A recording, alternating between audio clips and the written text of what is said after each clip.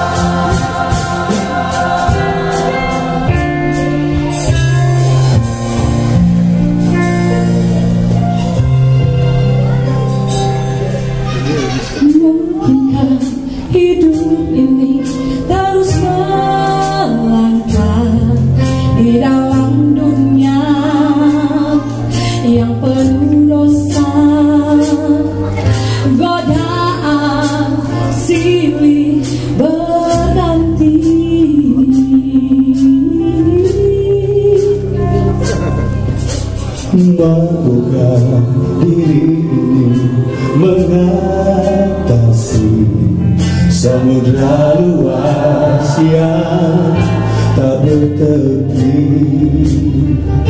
Gelombang datang menimpa